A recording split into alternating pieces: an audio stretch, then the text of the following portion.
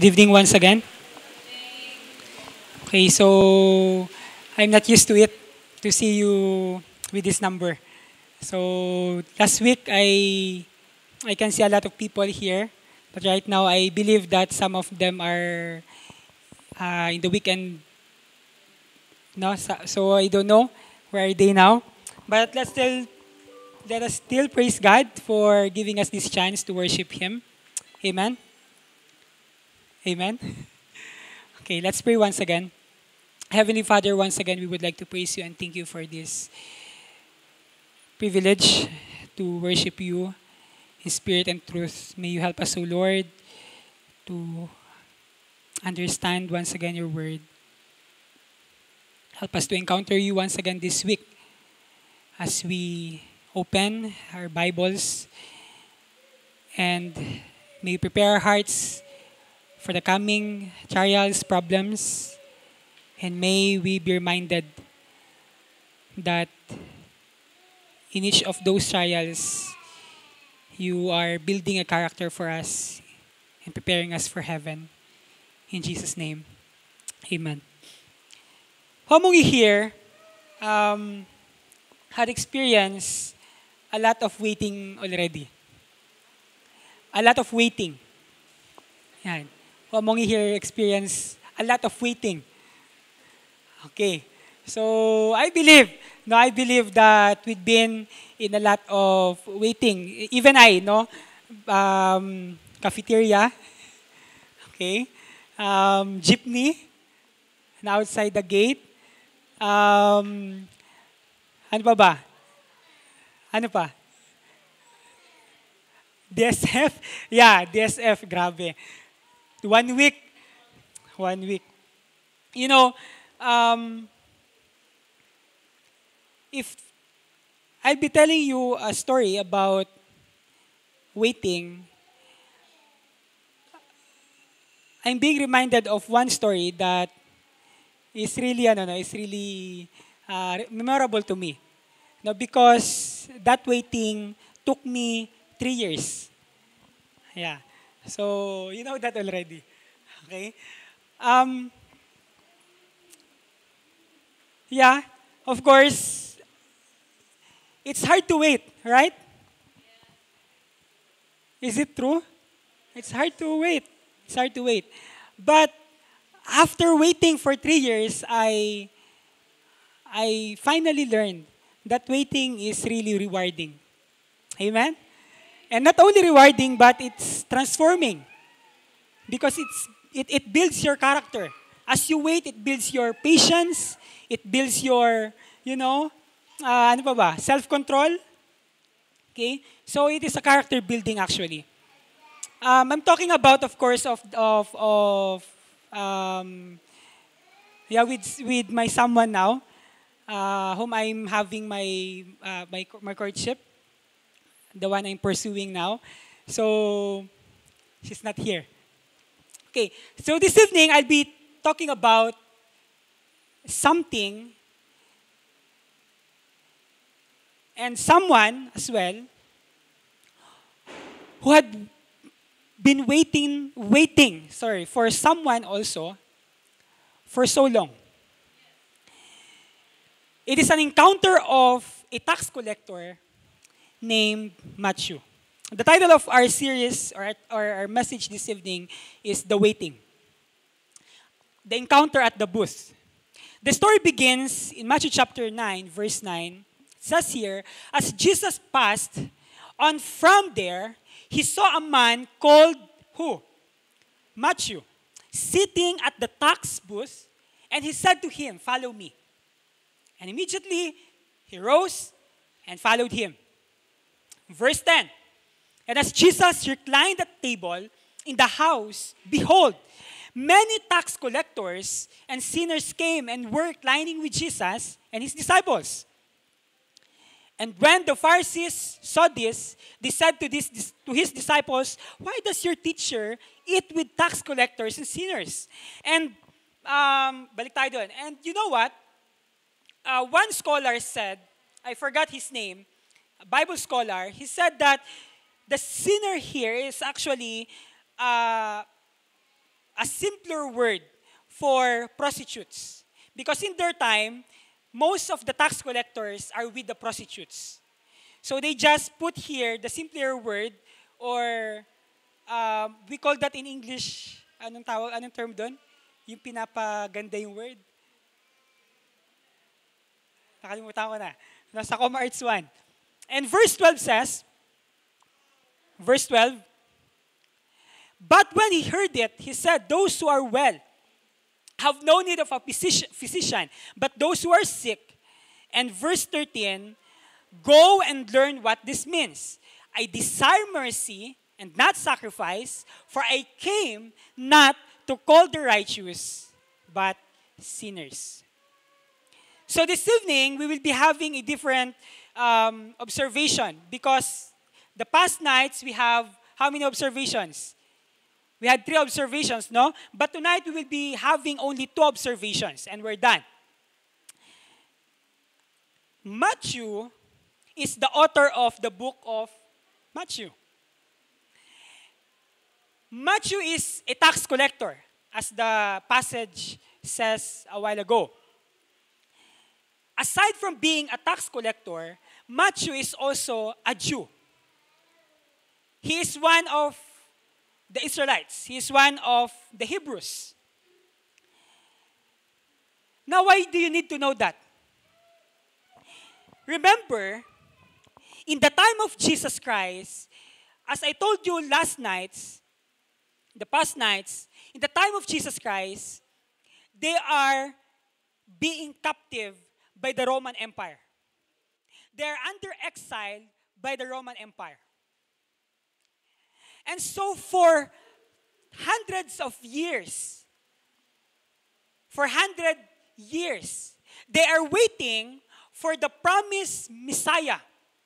They are waiting for the promised Messiah to set them free from captivity. And actually, if you're going to read from Genesis unto the book of Malachi, you can read a lot of prophecies about the coming Messiah. Genesis chapter 3, verse 15. If you remember, the Bible says there will be an enmity against the, the seed of the serpent and against the seed of the woman. And that talks about the coming of Jesus Christ. That he will, you know, destroy sin, overcome sin in behalf of the sinners. Chapter 4, verse 1 of Genesis says, Eve or Adam knew Eve.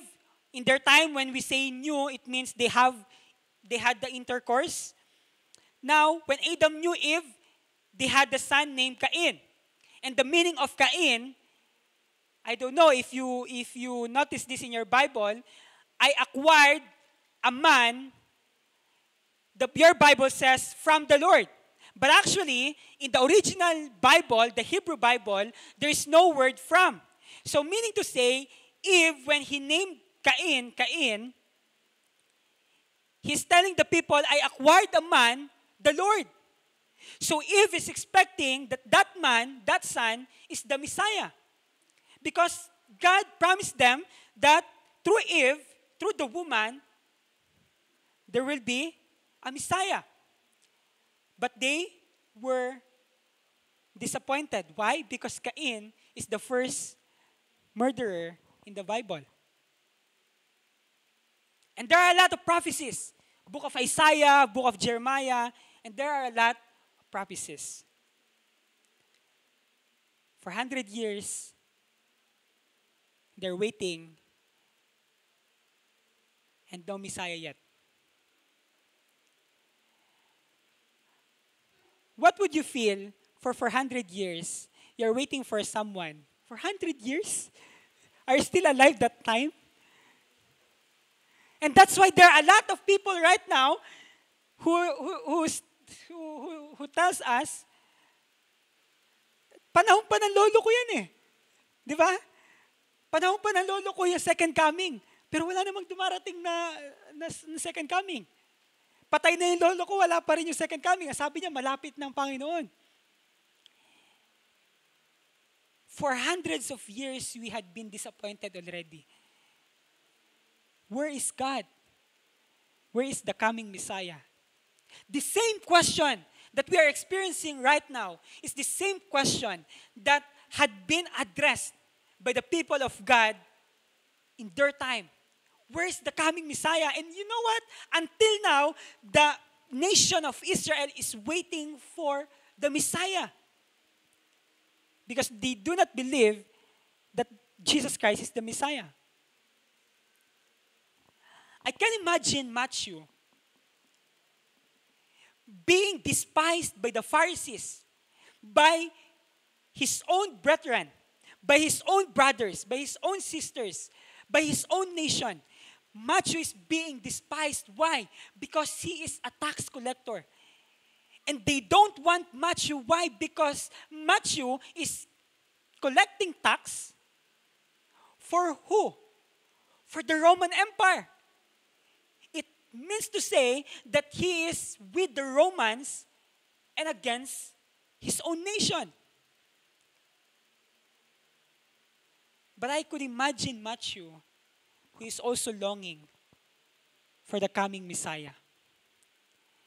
I believe Matthew that time would like also to be released from being a tax collector and be someone who is with the Messiah. But this is the problem, friends. They are waiting for an event, but they are not waiting for a person. They are waiting for the Messiah because of the reason that they would like to be set free from being captive. And they're waiting for a kingly Messiah. They are waiting for a kingdom that will reign over the Romans, but they're not waiting for a person. And that's the reason they failed to recognize that Jesus is actually the Messiah. But Matthew is a different person. After this encounter, after this encounter, he wrote a book entitled The Gospel of Matthew. This is very interesting because it is only in the book of Matthew that you will always hear and read the phrase, the kingdom of heaven chapter 3, verse 1, John the Baptist says, Repent, for the kingdom of heaven is at hand. Matthew chapter 4, verse 17, Jesus said, Repent, for the kingdom of heaven is at hand. Matthew chapter 13, and until Matthew chapter 26, you will be hearing a lot of parables talking about the kingdom of heaven. Because Matthew is someone who understood what kingdom of heaven means.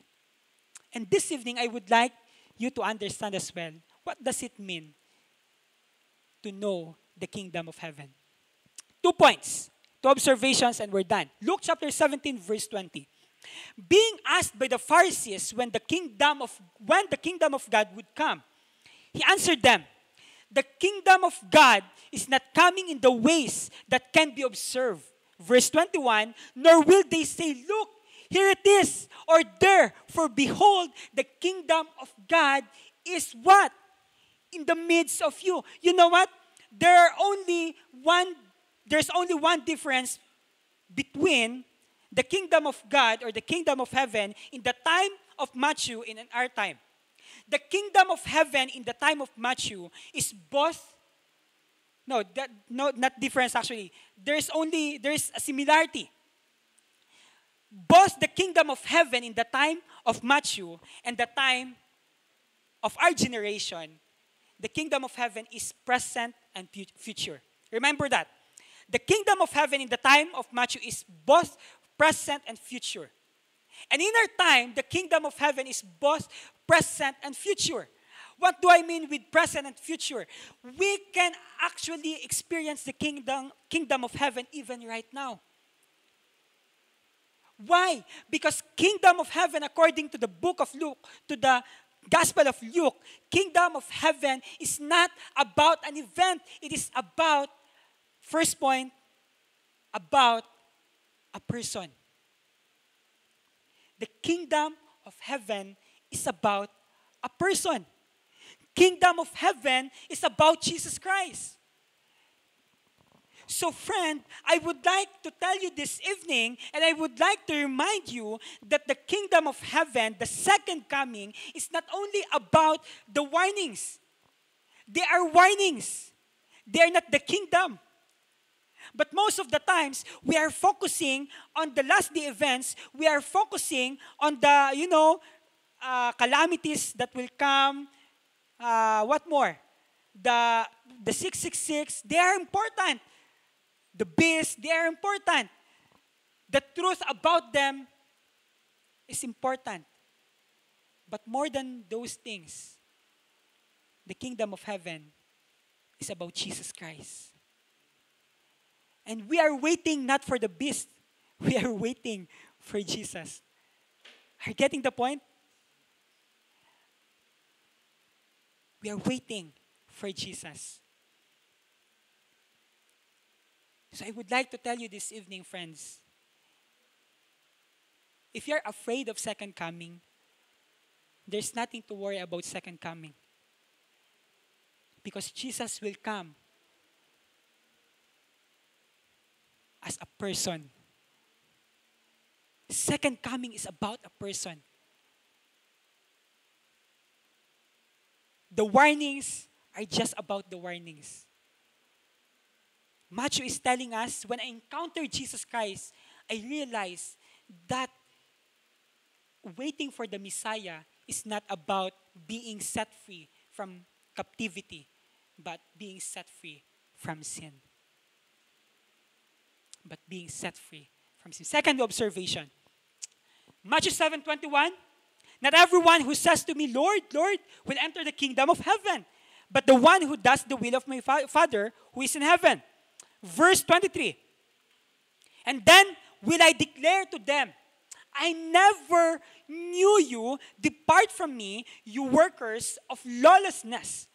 You know, the word new in the Bible, in, especially in the New Testament, in English, there, there, there's only one word no, new. But in the Greek, they have two words for new or no. The first word is oida, which means intellectual knowledge. But the second word is ginosko, which means relational knowledge. And in this particular verse, Matthew used the word ginosko.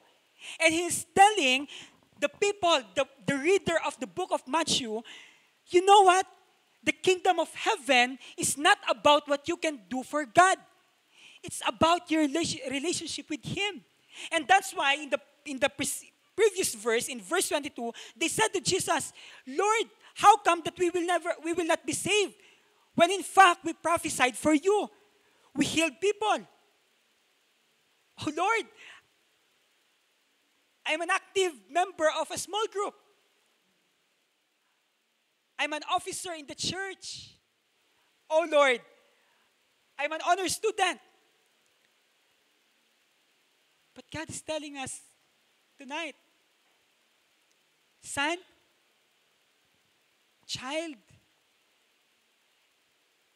it's not about what you can do for me.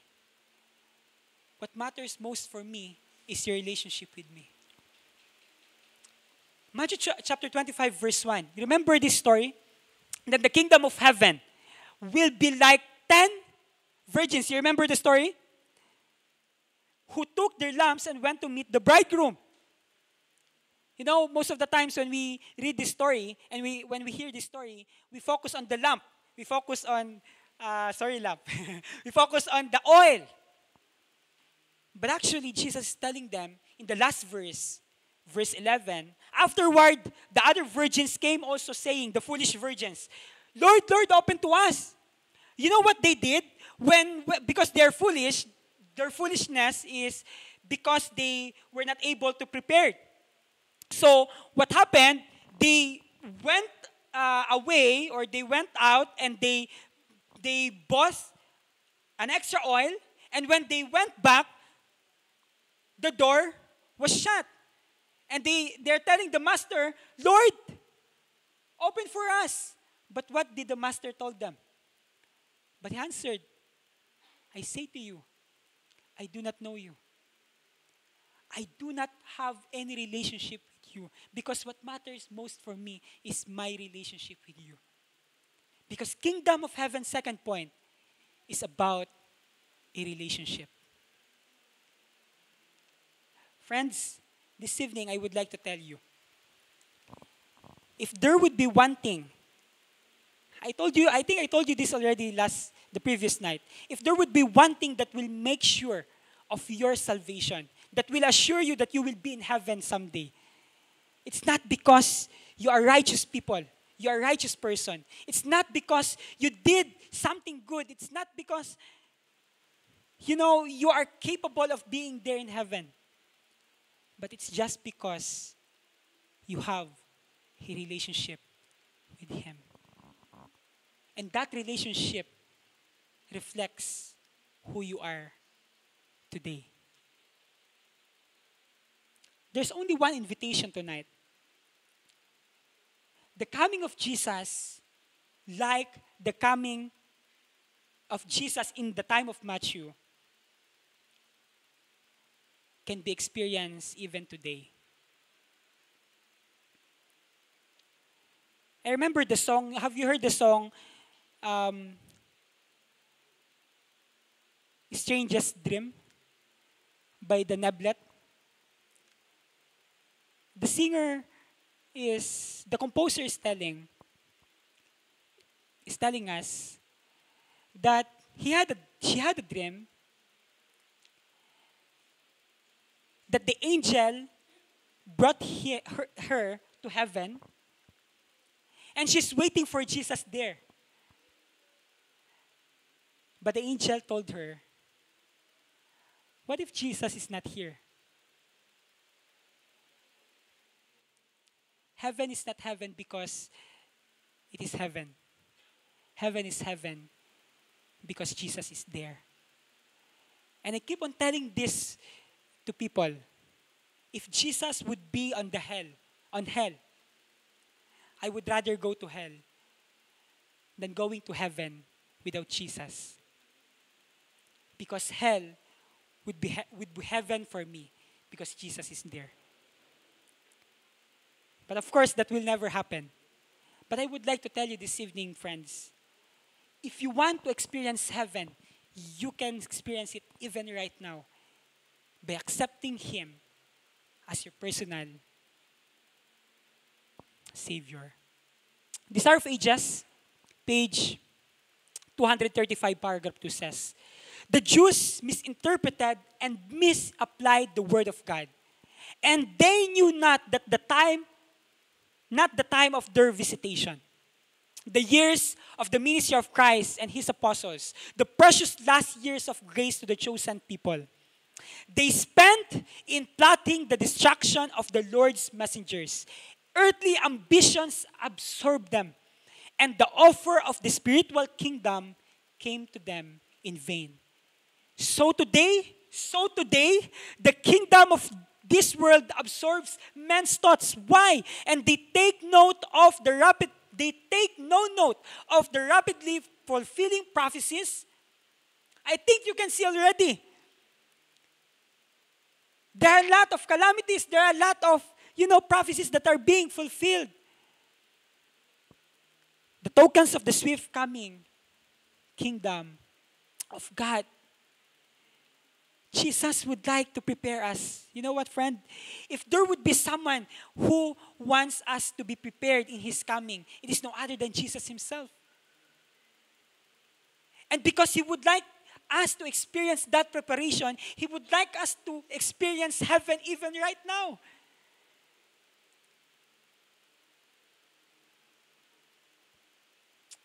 Heaven is Jesus. Jesus is heaven for me. Hebrews chapter 9, 27. And just as it is appointed for man to die once, and after that comes judgments. Verse 28. So Christ, having been offered once to bear the sins of many, will appear a second time at the second coming. And what's the next phrase? Not to deal with sin, but to save those who are eagerly waiting for Him. I would like to tell you this evening, friend, the Bible is telling you Don't be afraid, afraid of the second coming of Jesus because he will come not to condemn you, but to, to save you. But the reason of your condemnation, the reason of our condemnation is not because he would like to condemn us, but it's because we don't want to have that relationship with him. And sin condemns us. But Jesus never intended to condemn us because he would like to save us. He condemned sin already 2,000 years ago. And I don't want you to hear again this evening that his coming would be about condemnation. Because his coming is about having a relationship with you. And I can imagine Jesus Christ in his coming. I can imagine Jesus Christ coming personally for you, personally for me, and telling you know what, Dominic, I would like to bring you in heaven. Not, not because you did something good for me, but it's all because of my righteousness and my relationship with you. Will that be the encounter that you would like to have with Jesus Christ this evening?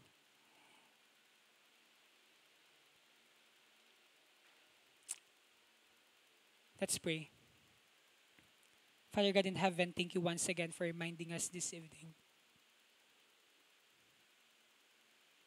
Most of the times we are waiting for an event, for the signs, for the warnings. Yes, Lord, they are important. But we neglected for so long